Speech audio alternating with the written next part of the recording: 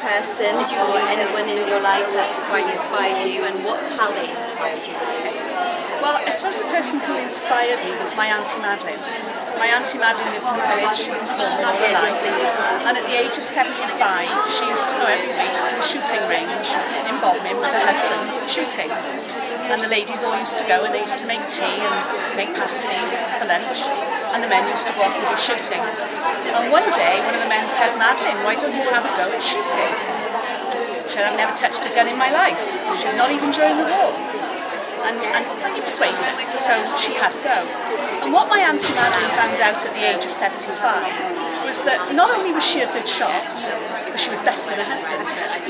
So she's inspired me because if my Auntie Madeline can find out at 75 that she's good at shooting, what could I be good at that I don't know because I've just never tried?